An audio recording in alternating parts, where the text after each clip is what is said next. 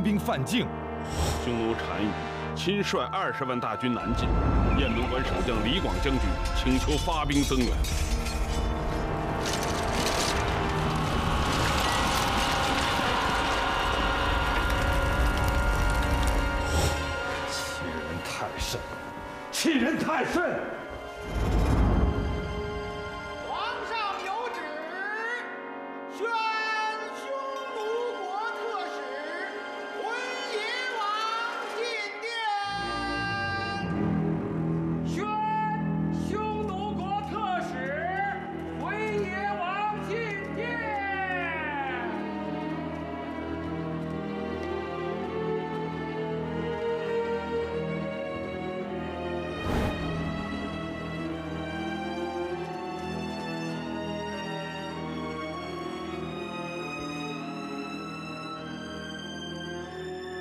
匈奴国高贵的使者代表君臣单于问候汉朝皇帝。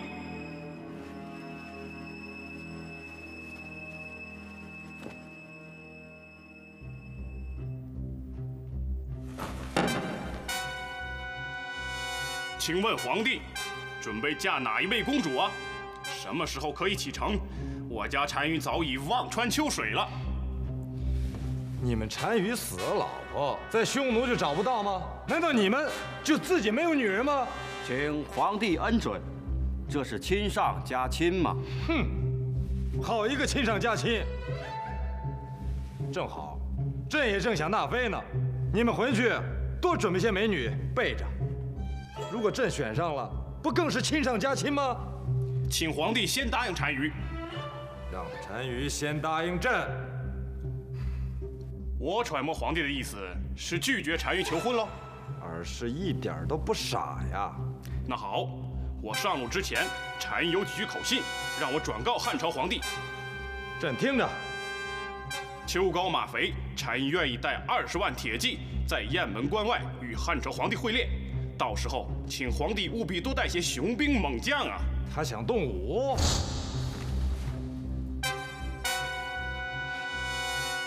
让他等着朕，成何体统？简直成何体统！姑姑妈，您坐下，别伤着身子。你这个丞相是怎么当的？为什么在朝堂之上不劝阻皇上呢？侄儿有罪。但姑姑妈呀，但是当时我要是劝阻的话，那更会是火上浇油啊！再者说了。当着匈奴使臣的面你总不能不顾及皇上的龙颜吧？他还有什么龙颜面子？他要再这么闹下去，就会亡国灭族。哎，你们说今天大哥的这一手，会不会把皇帝吓得真的答应嫁公主和亲？这个我倒说不准。大哥，你真的有把握吗？我把皇帝算准了。他不会同意和亲的，这就好啊！明天在朝会上，还是有的唱白脸，有的唱花脸，怕昏夜王彻底激怒。等匈奴领兵杀来，咱们窦家可就混账！这话也是随便说的吗？我我我我也只是在大哥面前说说嘛，在我面前说也不行。你们都给我记住了，有些事儿。只能说不能做，就永远别做；有些事儿只能做不能说，就永远别说。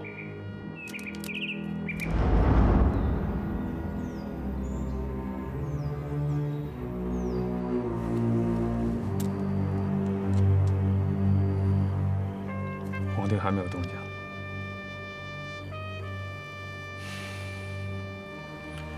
那就让大臣们继续跪着。皇上，皇上，大臣们求见皇上。朕不见，不见。他们说是为了匈奴的事儿。他们有什么话，在未央宫里为什么一个屁都不放？告诉他们，和亲的事儿，谁都不准再提。可他们在外面跪着呢，要是皇上不答应匈奴，他们就跪着不起来。那就让他们跪着，那就跪死他们，统统跪死他们！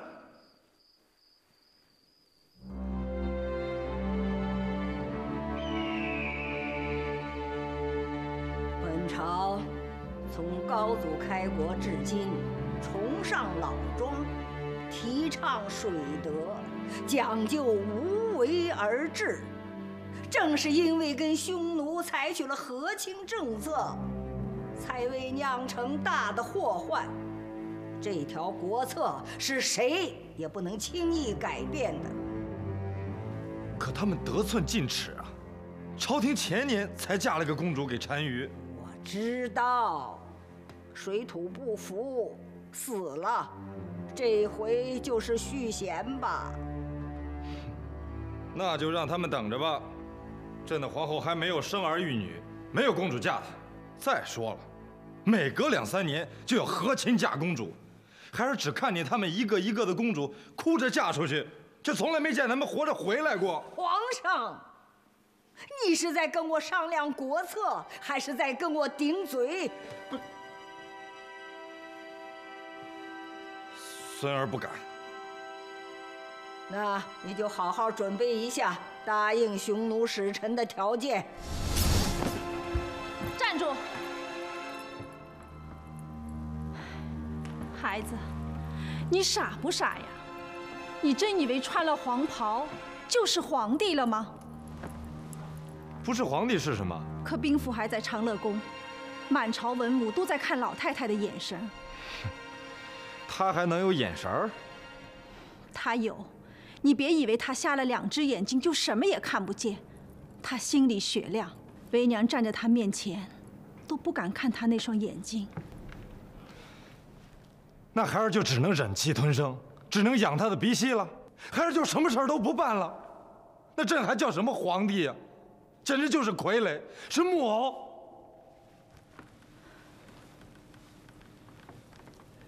等到你自己做主的那一天就好了。母后，孩儿想问问母后：高祖皇帝二十三岁的时候，他在做什么？他已经斩白蛇起义了。一个小小的厅长，披荆斩棘，排险克难，打出我万里江山。而孩儿呢？孩儿如今都在做些什么？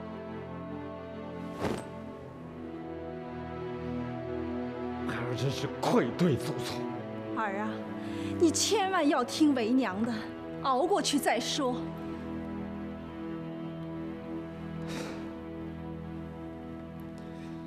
母后，请回宫休息吧。其实，上了岁数的人也好哄，你多去问问安，多陪几个笑脸，没你的亏吃。送皇太后回宫。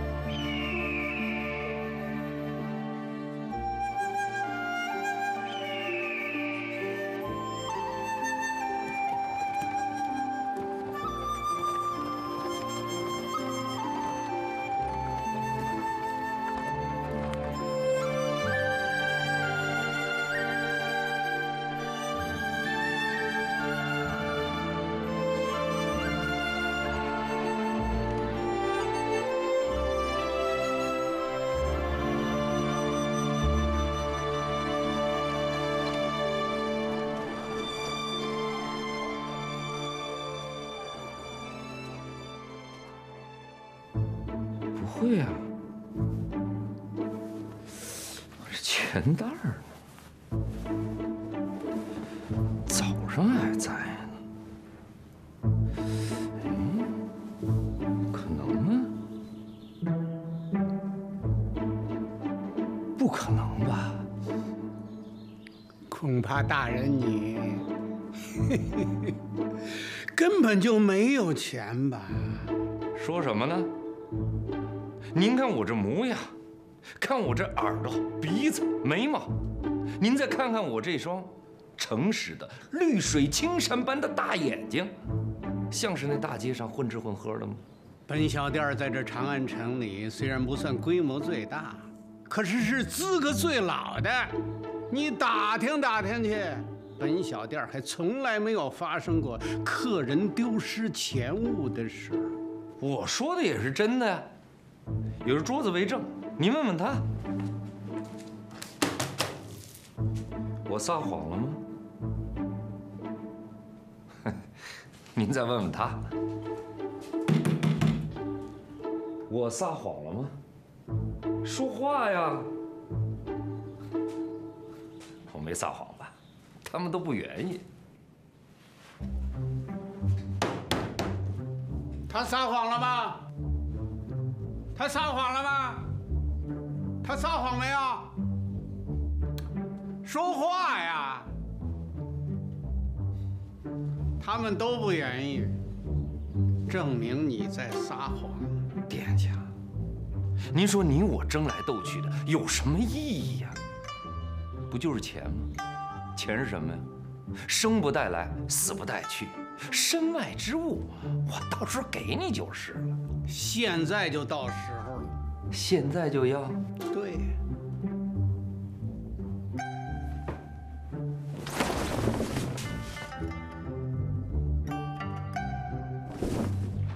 看清楚。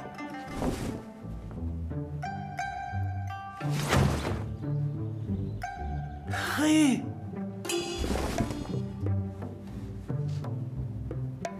再看好了，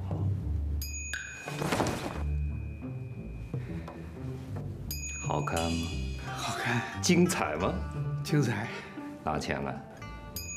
什么钱？杂耍钱啊！杂耍钱。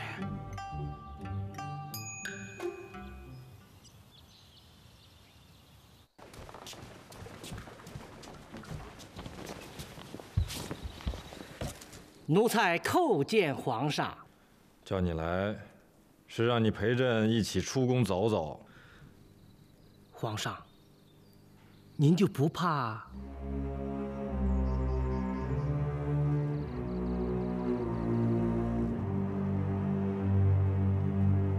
公羊，今天你到狗舍去，替小义子给朕的狗喂午膳。皇上，奴才不会喂狗。不会？那把你大卸八块喂狗，你会不会啊？会，会。还有，今天朕和小义子出去的事儿，就只有你知道。要是出一点岔子，也只有把你喂狗了。啊！哎呦，皇上，皇上，皇上啊！皇上，皇上。走啊！诺。唉呦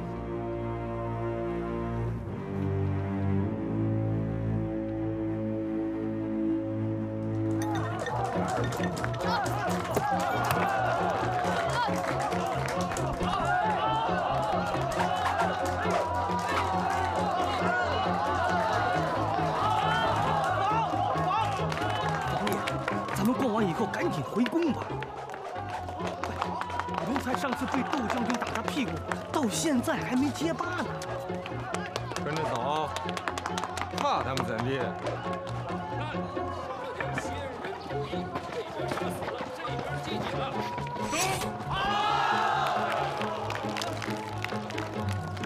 那边干什么呢？啊？走，看看。下面再为大家耍一个精彩把戏——大变活人，请看。这是一只箱子，请把箱子打开。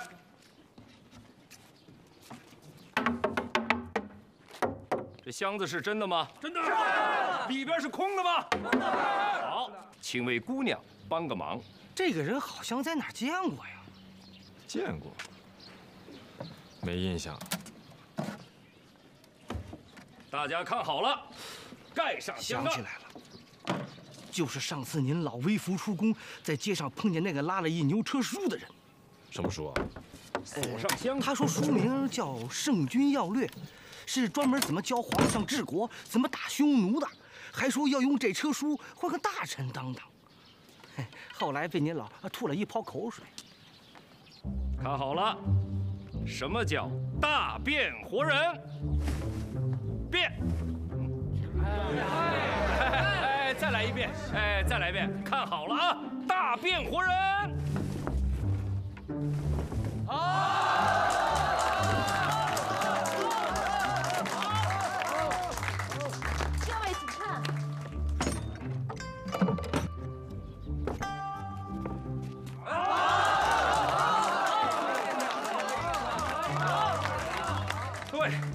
有钱的捧个钱场，没钱的捧个人场。来，请多多给钱，谢谢大家了，谢谢大家了，多多付钱，谢谢大家。哎哎，别走别走，一壶一壶一壶，哎哎，别走别走别走，你们看呀，夜壶。这不是一把用来撒尿的普通夜壶，这是一把商代的夜壶。它跨越西周两东，历经秦朝才传到我的手里。你们再看，连一只手都塞不进去的这个地方，我的脑袋却可以钻进去。敢问，当今世上谁能做到为我东方硕士也，且前无古人，后无来者？想看吗？想。还走吗？不走。但此把戏虽精彩绝伦，却也存在着极大的危险性。搞不好，这脑袋钻进去就出不来了。所以得先付钱。哎，多多得罪了，哎，多多得罪了。啊！我们要给了钱，你不演怎么办呢？哎呦，这么多人在这儿呢，哎，大家一人扯我一下，一会把我撕成碎片的，我敢不演吗？啊，你们说我敢不演吗？我出二十株。谢谢谢谢，谢谢大人。还有谁想看？快快出钱，快快出钱！此把戏乃百年不遇的独家把戏呀，在这长安城内仅此一家，别无分店。好了好了，这钱收够了吧？收够了，就马上开始演吧。演演了，来吧。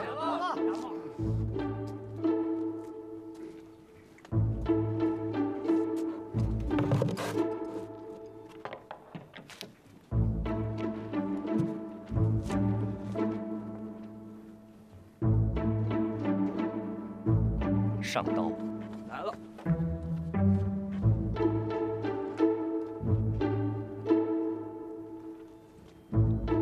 现在要请哪位古道热肠的朋友来帮个忙，就用这把菜刀，咔嚓，把我的头砍下去，我的脑袋就会滋溜一下钻进这把夜壶。来吧。哪位朋友，动手吧！老虎拉车，谁敢啊？你真把他砍死了？大汉的律法，杀人者偿命。是他自己让人砍的，死了，能怪谁呀？哎，这律法可不管这些。你害死一条人命，自己也完蛋了。你说好端端一条人命，换一混混的命，那值吗？快来人呐！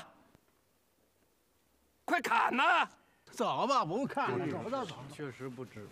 再不砍，小人我就要收拾家伙回家去喽。我来砍。你行吗？这不是闹着玩的。谁跟你闹着玩了？你要是不小心把我砍死了，你既然会耍这样的把戏，就一定不会死。难道你这把戏是假的不成？哎，不不不不，我这个把戏绝对是真的。我是怕你一刀下去，万一没砍准呢。你放心，我小时候在家杀鸡杀鹅，咔嚓，都是一刀解决问题。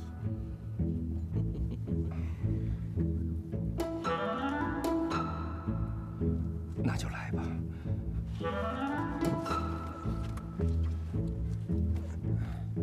哎，妈。这位小哥，你这一刀必须得砍在我这根头发丝上，不然我的脑袋是钻不进去那把夜壶的，而你。可真的就要偿命的。别跟他废话，快砍！这个小哥，这个小哥，今天晚上我请你去长春楼喝酒。小爷我不稀罕。你小点声，那么多钱呢，咱俩一人一半，按一天做。小爷我有的是钱。你真要砍啊？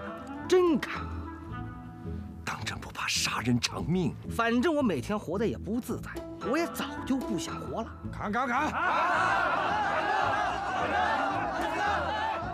好，既然如此，动手吧！一二三，你砍呀！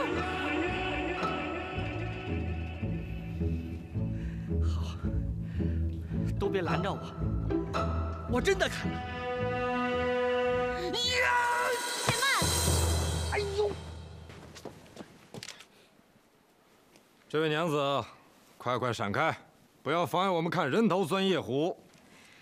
列位大人，这个人我识得他，他从小受过惊吓，落得个乖张癫狂的毛病，所以大家不要相信他。他是天下第一傻。谁说的？我才不傻呢！我是聪明一世，糊涂我不一时。我是天下最聪明的。你胡说！皇上是天下最聪明的。呸！东方朔第一，皇上第二。你刚才说什么？东方朔第一，皇上第二。诸位说说，他今天不钻夜壶行不行？天真的要替皇上执行了，看来我今天真的是要斩了你了。呀！哎呦，二哥！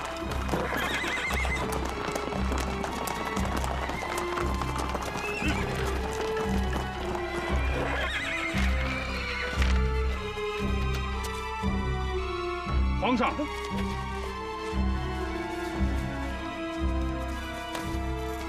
您怎么到这种下九流的地方来了？朕怎么就不可以来这儿啊？宫里边憋屈，朕出来散散心。烧了你们！烧了！我我把你们全部给烧掉！此处不留爷，自有留爷处。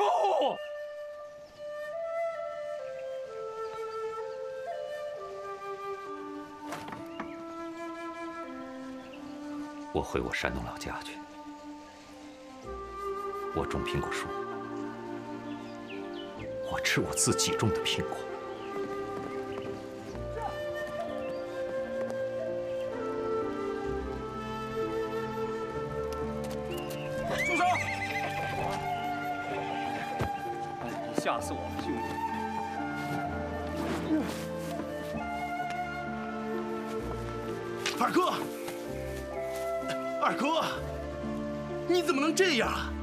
这可是你多年的心血啊！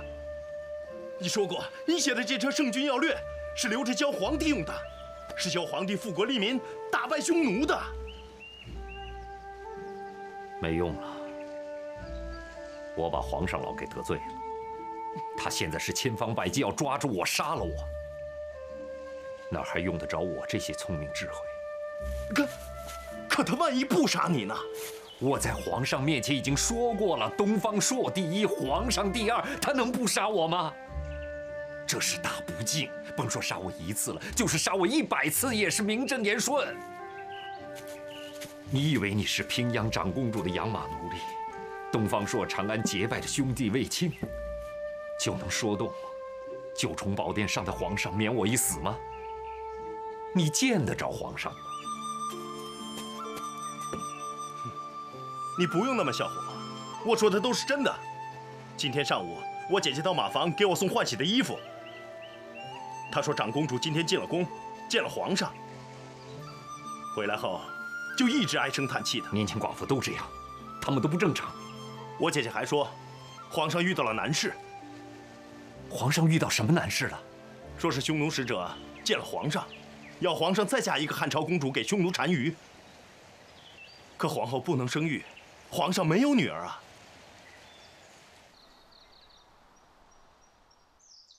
东方朔，听卫青说你有主意献上。长公主，草民这一张利嘴可抵百万兵，那些小小的朝官……嗯。啊，草民的意思是，长公主，草民已为皇上想到一计。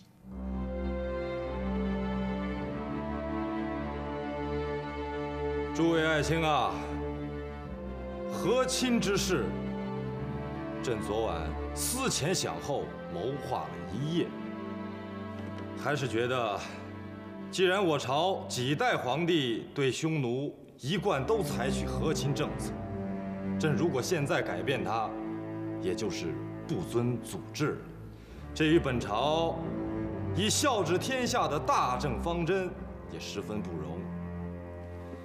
所以，朕还是决定接受众爱卿的劝谏，答应与匈奴单于和亲。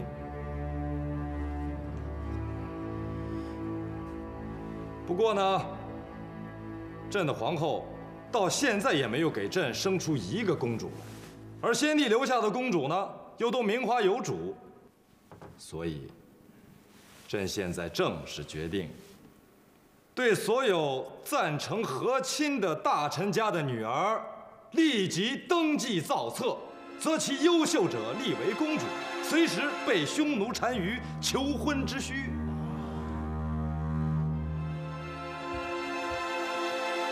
皇上，我愿担当这项使命，挨家挨户巡查登记，把他们的姑娘丫头都搜出来，供皇上使用。错了，这哪是供朕使用啊？这是要送到那茫茫的大漠之中，天寒地冻的帐篷里，供单于使用。臣懂了。嗯，那就辛苦赶赴将军。记住，凡二十岁以下未婚配者，都要登记造册，因为和亲是一项长久的国策，而大部分公主嫁到匈奴，又都水土不服。两三年就得再续弦一个新的，所以这需要大量的公主啊！诸位爱卿啊，现在赞成和亲的都请站出来吧。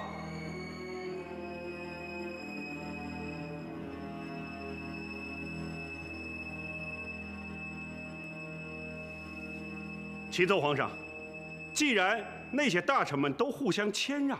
那我就带人挨家挨户去他们府上登记了。慢，还是自愿的好。朕从来都不愿意搞强迫。所以呢，如果诸位爱卿觉得不能这样，那就请诸位再上一道废除和亲的奏本。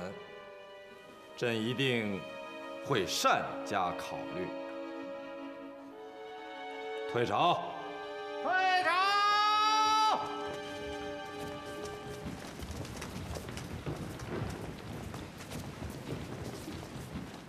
看来我还真错看了这位小皇帝了。他的这一手真让我老婆子刮目相待呀。丞相，侄儿在。你说他这一招真的是他自己一个人关在屋子里想出来的，还是背后有什么高人给他暗中出主意？听公羊说，平阳长公主经常出没于宣室，她还在家里养了上千匹的好马。哼，她一个女孩儿家养那么多马干什么？哎，说是为皇帝准备的，可以随时征讨匈奴啊！胡闹！他还嫌朝中乱的不够啊！他还要再添一把火。姑妈，平阳长公主虽是女孩，可她从小就有脾气，大有巾帼不让须眉之势啊。一个彻儿就闹得我坐立不安，又添了个平阳，这朝中让他们闹得要永无宁日了。姑妈，只有句话，不知当讲不当讲。咱窦家人有话直说便是。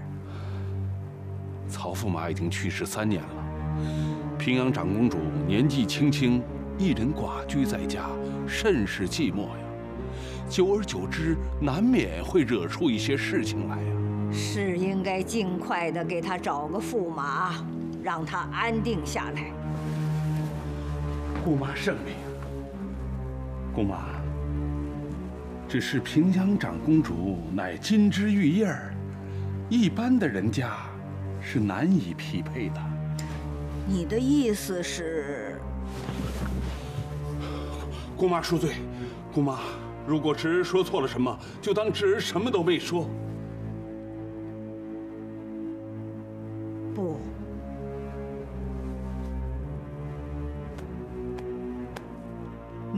你没错。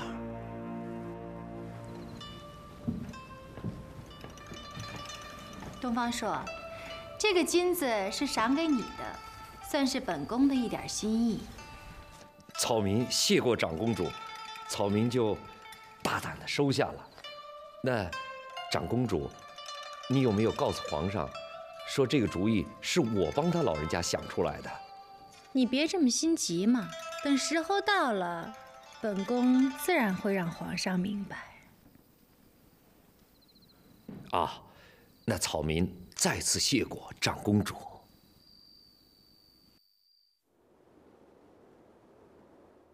简直是胡闹！怎么大臣们的女儿会是公主呢？你皇上没有公主，可我大汉朝的藩王们就都没有公主了吗？母后息怒，彻儿他已经知错了。丞相，臣在。以后。朝中所有的诏书指令都要加盖我长乐宫的玉玺，方能生效。臣遵旨。祖母，好了，下去吧。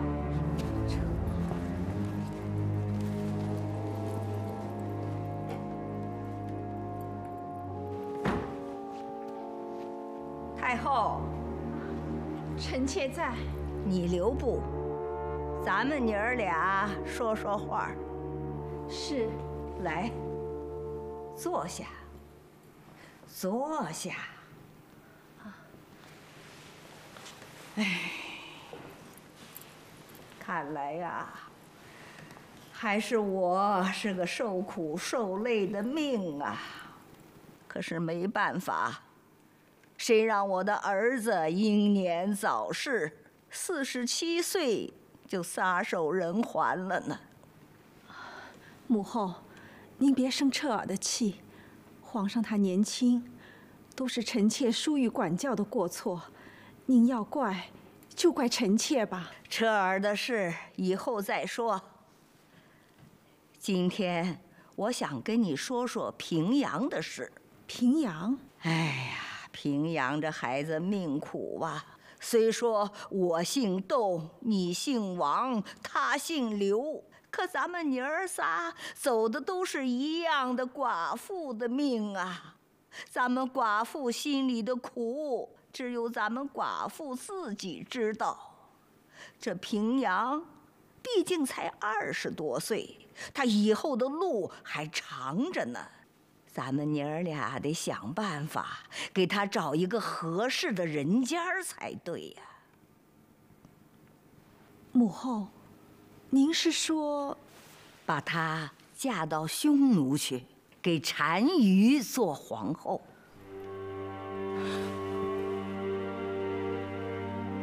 母后，这是您的意思吗？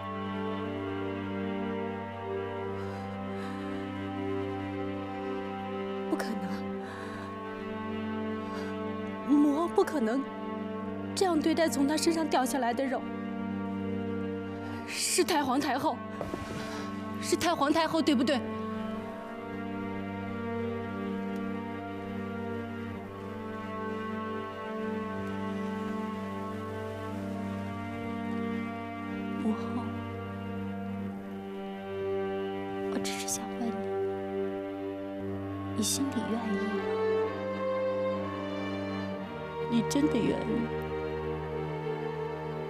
嫁给匈奴吗？你父母都去世三年，你也算有个归宿。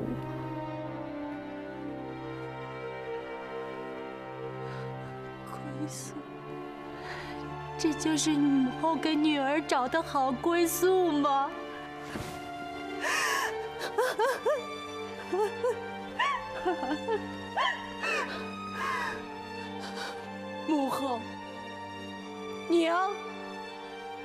只想问一句：我真的是你亲生的吗？我的儿啊，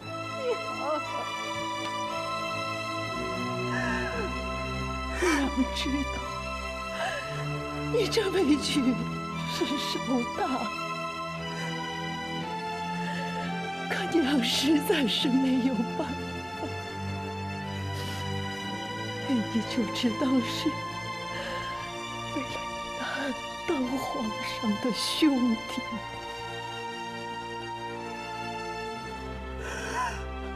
不好。老二、老三，哎，慢点，慢点，大哥，不好了！太皇太后要把平阳长公主嫁给匈奴单于了。什么？二哥，平阳长公主是力主皇上向匈奴开战的，她可不能嫁到匈奴去啊！哎，你笑什么呀？笑什么呀？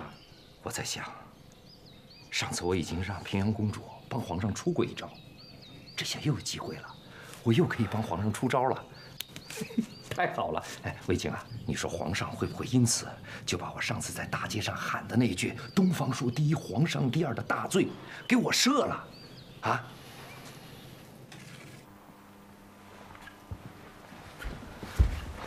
长公主，免礼吧。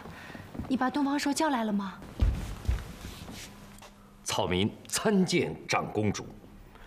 长公主，奴才先行告退。本宫不要你的礼物，要你的主意。草民的主意就是礼物，礼物就是主意。那你快说，你到底是怎么想的？草民不是吹牛，草民的这个主意，只要一拿到皇上面前，太皇太后和皇太后就会立即知道，他们马上会收回将长公主嫁与匈奴的成命。你是把皇室宫廷当成市井人家了，你要切切记住，帝王人家张嘴便是金口玉言，更何况是太皇太后。长公主，草民正是要让两位太后亲自收回他们的金口玉言。你太不了解帝王了。脱了身上的衣服，帝王和草民没什么两样。东方朔。草民一时说滑了嘴，得罪了长公主，还望长公主多多开罪呀！啊，长公主啊，草民这几天都是在卫青的马棚里吃残羹剩饭，所以说出的话都一些无谓的废话，出的主意恐怕也都有点馊。东方朔，休得贫嘴！你快把你的馊主意说出来。禀长公主，草民的主意就在这锦匣中，请长公主笑纳。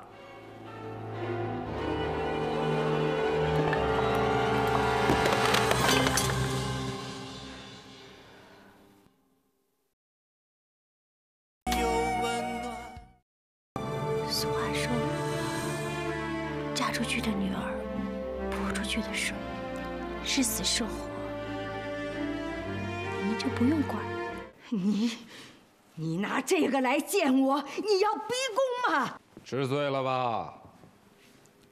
知道你这颈上的脑袋保不住了吧？姑娘，绝不是寒窑出身，青楼女子不可能如此。